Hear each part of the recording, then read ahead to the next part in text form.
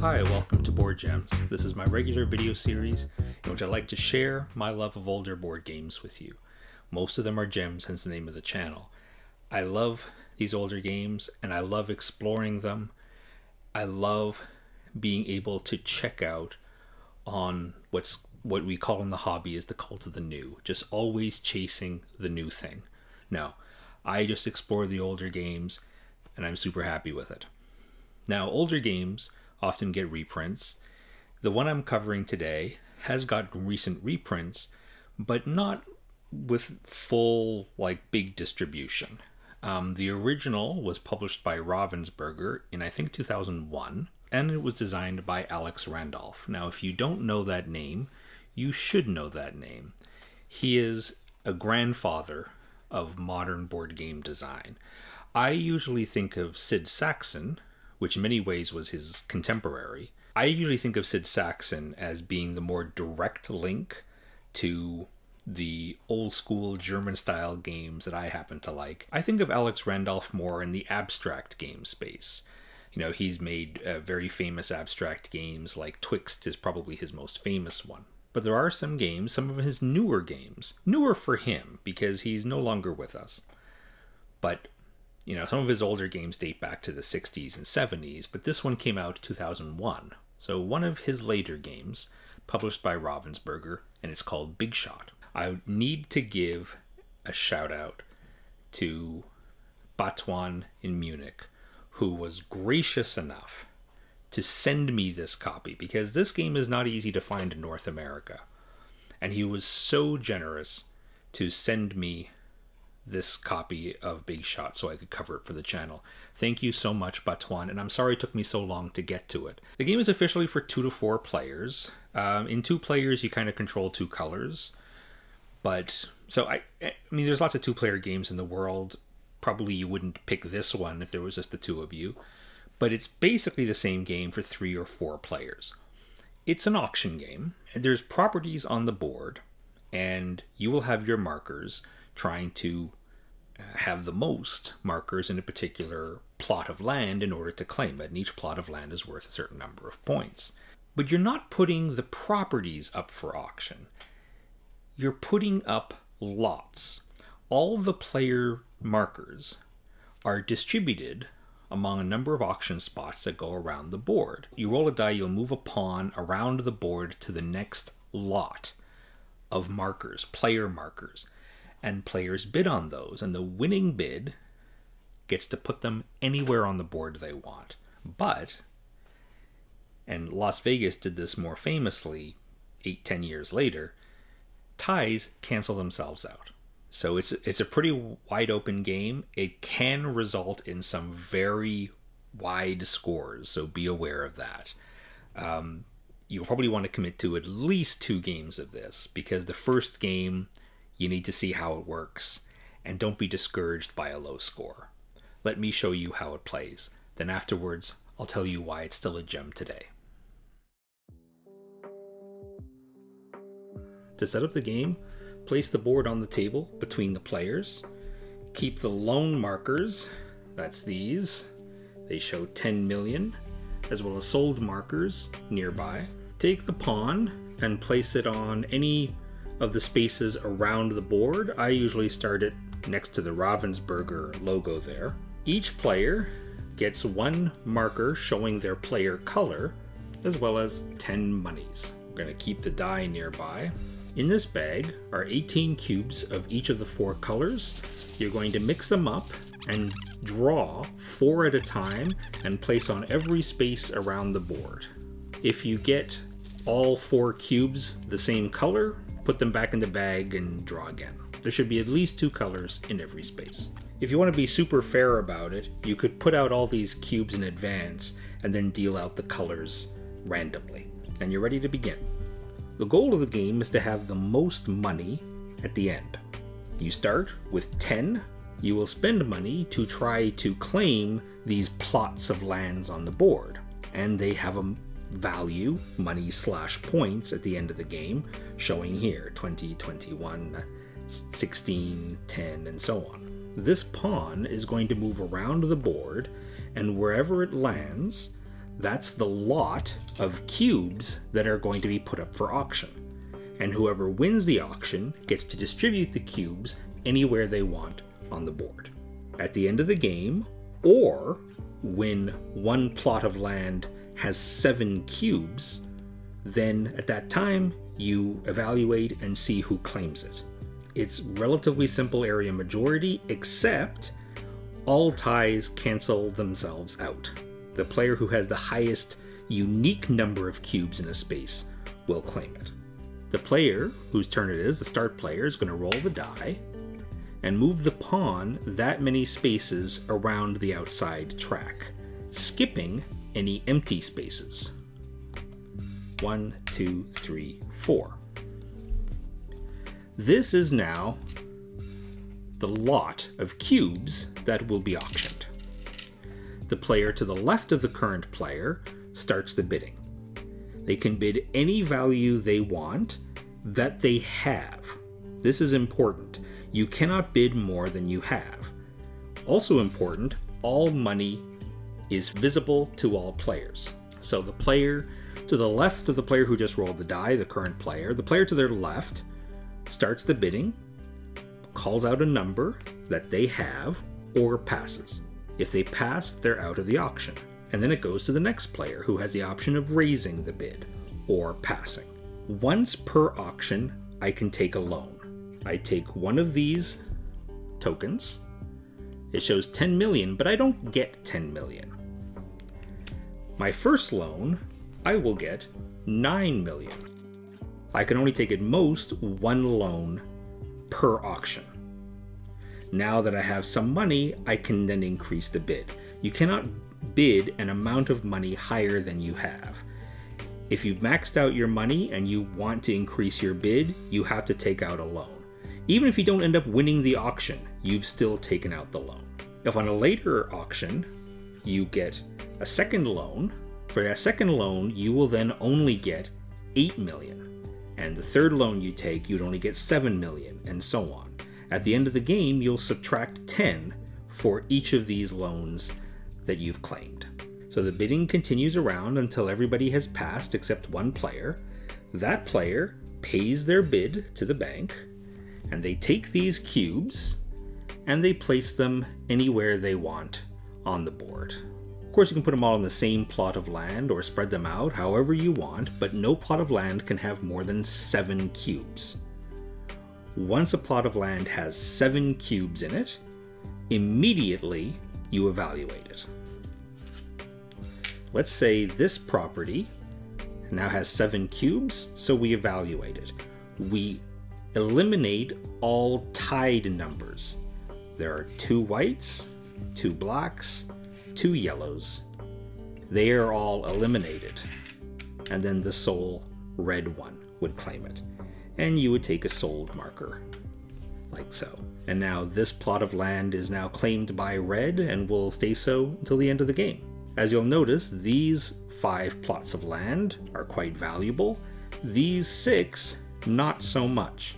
But you'll notice they are adjacent to parks. Parks are evaluated just like any other location. As soon as it has seven cubes, it's evaluated. The winner gets no points directly. Parks themselves are worth zero. But every property they have that's adjacent to that same park is worth double. So in this case, this property is now worth 20. This property is worth 18. This property is still only worth 11. It only doubles the value of adjacent properties owned by the same player who owns the park. After that, the die passes clockwise. The next player will roll the die and move the pawn that many spaces clockwise, and this will be the lot of cubes that is put up for auction. Remember, you skip over any empty spaces, and in this way, all 18 lots of cubes are going to be auctioned off. And after the 18th lot is auctioned, the last lot is auctioned, that's the end of the game. And any properties that still don't have seven cubes are evaluated based on the cubes that are there now. So this one, if this was all, if these were all the cubes that were in this place, then obviously white would get it. And players will total up the value of the properties they own, remembering to double any that are adjacent to a park they own. Add to that any money they have left over, and subtract 10 for every loan they have.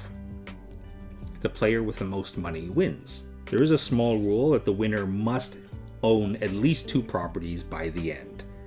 So you can't just hang on to your money, even if you see other players just bidding crazy amounts. You can't win just by sitting out all the auctions and hanging on to your original money. You will have to own at least two properties in order to win. So you'll notice there's four colors for four players. So what happens when you're playing with fewer players? Well, the three player game is exactly the same. Obviously, one of these colors will not be in play, but you can still play the game with the exact same rules. The player who's not in the game can still be based on the, the placements of the actual players around the table, can still win properties. All four colors will always be in play. How about a two player game? Well, in a two player game, as you might guess, each player will control two colors. They will maintain two separate amounts of money but in an auction, they bid any amount that one of the colors has. Each color will have its own separate money and claim its own separate loans. Unlike in the regular game for three or four players, in which you can take loans in the middle of an auction, in a two player game, you can't. You have to ask for loans between auctions, between turns. You don't have to bid separate amounts for the two colors you have, you just bid an amount and if you win the auction, you can choose which of your two colors will pay for the auction. At the end, you will total up the money and the property values and the loans of both colors. Both colors have to claim at least two properties in order for you to be able to win. That's it. You're ready to play Big Shot. Pow pow. I described Big Shot in the past, like for example to members of the OG Guild, as a raw game. That might seem like a strange characterization of a board game. Let me try to explain. Many board games are a mishmash, a smorgasbord of many different types of mechanisms, especially the obviously the more complicated ones. Oh, there's push your luck, there's dice rolling, there's worker placement, there's auctions, there's deck building and a lot of games are some combination of these would have become relatively standard tools in a game designer's uh, tool belt, so to speak. To me, a raw board game is one that is rather minimalist. It focuses on the core part of what makes a game interesting and tense and fun without too many uh, accoutrements. Uh, you know, you're just having the main course. There are no side dishes, um, and it's not a variety of a meal. You're eating one thing. my wife jokes with me that you know she likes to have lots of little dishes and i'm like no i just want one thing that i like and i'll just eat that please and i guess that could apply to my taste in games as well i often like raw games games that are rather minimalist. They have a focus. Because I always like to say that every game that is published should be someone's favorite game. And what I mean by that is it should be different enough from other games out there that for someone that combination or that uh, that focus is exactly what they're looking for. And there are many games that I've played that have that mishmash of mechanisms and you feel like it has a lack of focus. And because all these mechanisms are things that other games have done, and oftentimes better, those games become forgettable. I could totally see Big Shot being someone's favorite game. The focus in Big Shot is twofold. There are the auctions, and there is the, I guess you'd call it area majority. These two elements, I'm sure you could name a dozen games that also feature auctions and area majority. These are not rare mechanisms. But for one thing, the, the laser focus on these things and the little small adjustments that are made to make it very interesting. In in the case of the area majority, that's the ties, which we would later see in Las Vegas, another game I have covered. That eight to ten years later, I think uh, Las Vegas came out, and that game featured ties as well. That there was, I suppose you'd call it area majority. You'd have these casinos, and the dice would go to the casinos. The play, the dice are owned by the players, and the player with the most dice wins the money at the casino, but ties cancel themselves out. Because each plot of land can only have at most seven cubes, ties become extremely common. You often see 3 3 and 1, or 2 and 2 and 2 and 1, and the one ends up winning it. But what that means is every auction is tense. Every auction matters. Well, maybe not the first couple. One flaw you could potentially see, or at least it's something that keeps you from kind of getting into the game is that the beginning feels rather directionless. The board is empty, and the early auctions, you're putting cubes on the board, but because ties are relatively easy, it's hard to justify putting what cubes where. But usually those auctions don't go for very much because you know you don't have anything you have to do right at that moment. It is hard to see how those early placements affect the late game. But starting, oof, I don't know, maybe one quarter, one third of the way through the game, the auctions become extremely important. Each lot of cubes, there's four of them, and once a location on the board has three cubes, suddenly the stakes shoot through the roof. Because one player at the table could take all of these four cubes that they win in, a, in this auction, plop it down in that space that already has three cubes, now it has seven. Someone will win that. Which player wants to win that so that they can claim that location? You want to bid high to keep that player from getting an easy win of points without spending too much money. You want to bid them up. But do you really want to win it? Mm, you could definitely do something with every auction you win. You can do something with those cubes, but you know for sure you definitely don't want that person to win it. Or if they win it, pay through the nose for it. And paying through the nose, that's key in this game because of the other twist. You start with $10, but there's like a dozen blocks, plots of land on the board that you could win that 10 bucks is not going to get you very far. You are going to need to raise capital during the game. And the only way to do that is to acquire loans. But the loans are brilliant.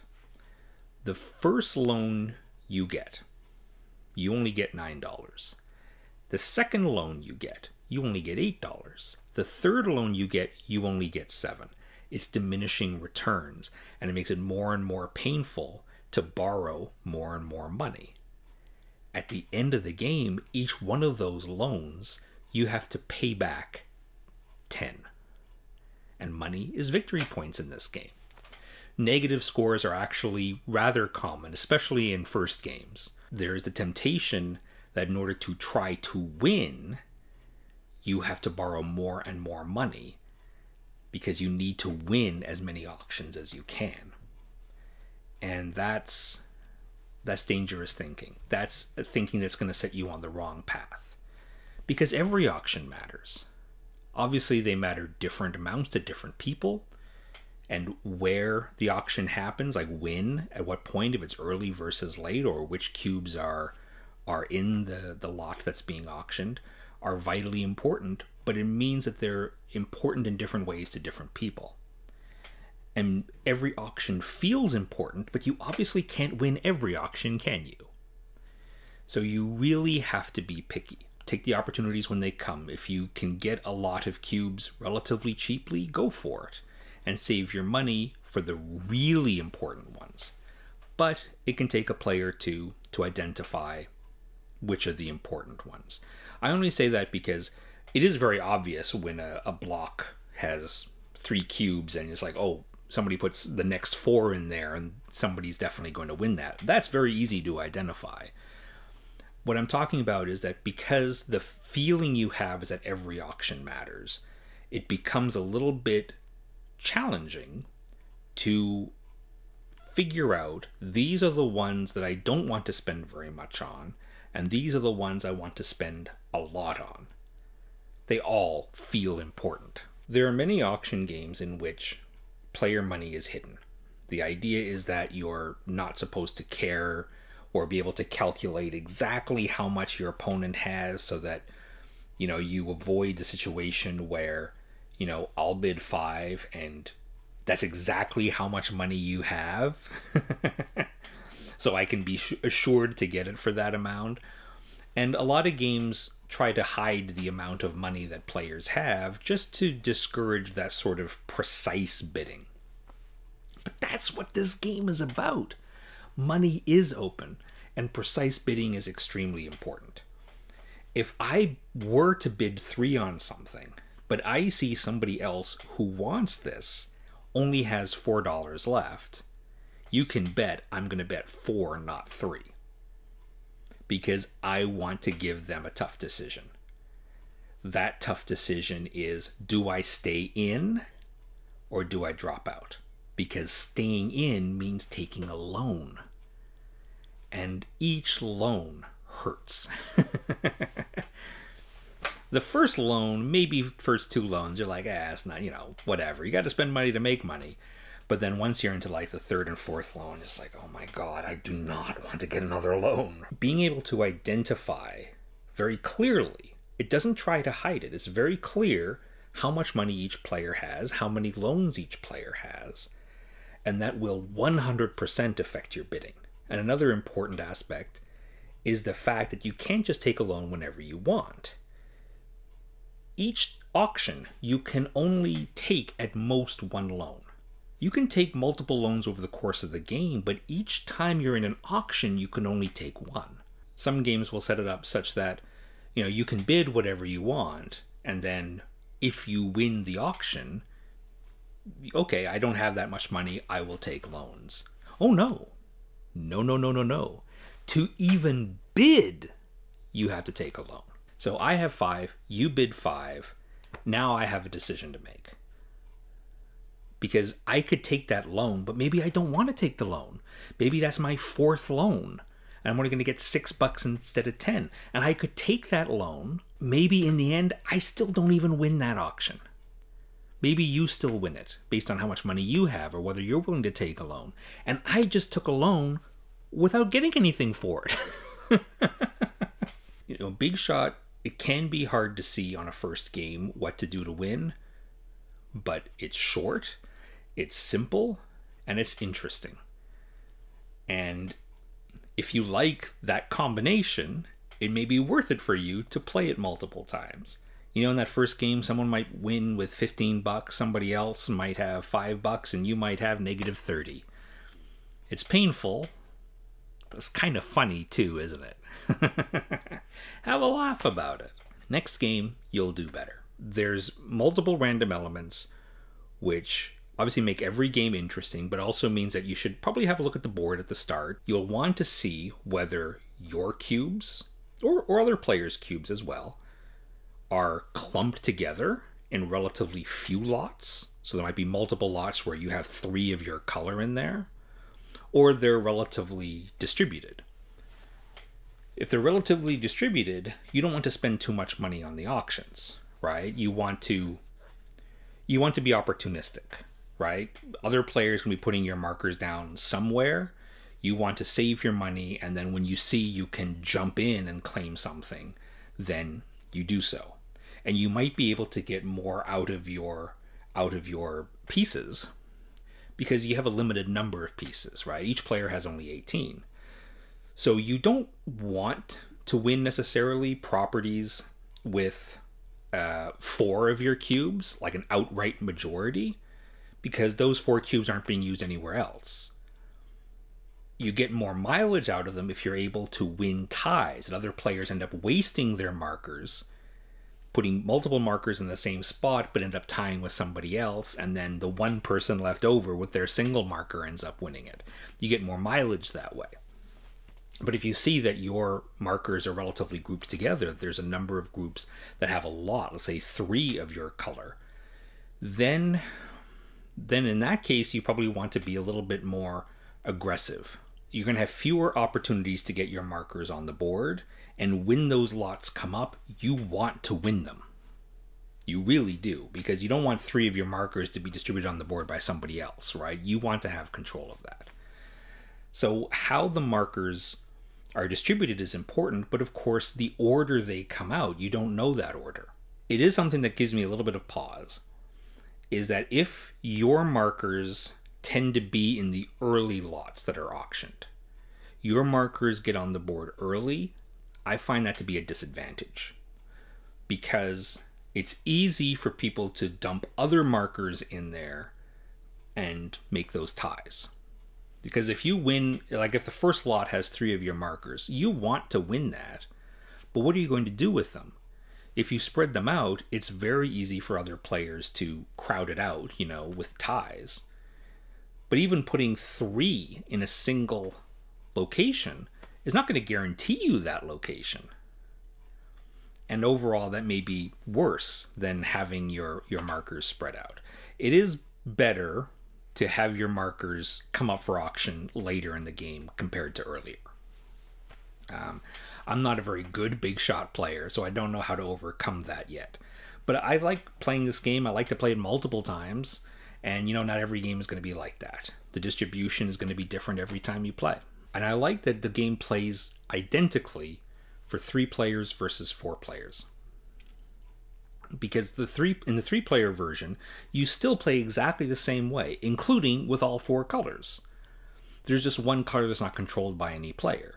That color slash player doesn't exist. They're not going to be bidding and they can't choose where cubes go but there's still cubes that are auctioned and the other players will still be able to put them on the board and they can still wreck the plans of other players you know if they end up tying them in, in certain uh, locations so it works just fine with three or four it is better with four specifically because of the auctions. Generally speaking, for auctions, I mean, auction games can work three players, but I can't think of an auction game that works best with three players. Almost any auction game I can think of that you can play three players, I'd rather have four. And it's the case here as well. With four players, there's less responsibility on a single player to try to spoil the plans of another player in an auction, in this type of auction, once you're out, you're out. That's it. You're gone. You can't jump back in later. So let's say that there's an, a lot of cubes, uh, four cubes up for auction. Player A really wants it.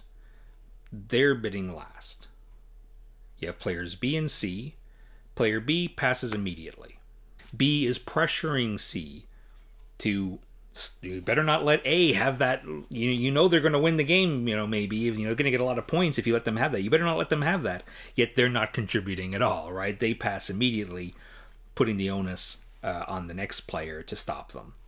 And of course, you see that less with four players. Uh, it's just a different dynamic. You know that that's more of a of a player kind of dynamic that uh, doesn't really bother me when it comes up. It's just kind of funny to do you know, people can do it to you, but you can do it to other people too. So I don't really see much of a problem with it. But the game is slightly better with four. Really simple rules that just allow you to jump in, a lot of interaction with the other players on a shared board that everybody's focused on, and the challenge is coming from the other players and their moves and how you counter them. Uh, it's thinky, but it's not complex. I mean, this is this is what you want it's what I want, might be what you want. This is the style of game that I like to promote. And, you know, if you're getting tired of the newer games where you're always learning a new thing and it's kind of, you know, it's not necessarily that crazy complex. Look, you're smart, you can figure it out, but you might only play it once or twice before you're learning a new game. Remember why you play board games for the fun of it, from the game and from your fellow players. Thanks for watching. Remember, older games like Big Shot don't stop being good just because newer games come out. Take care.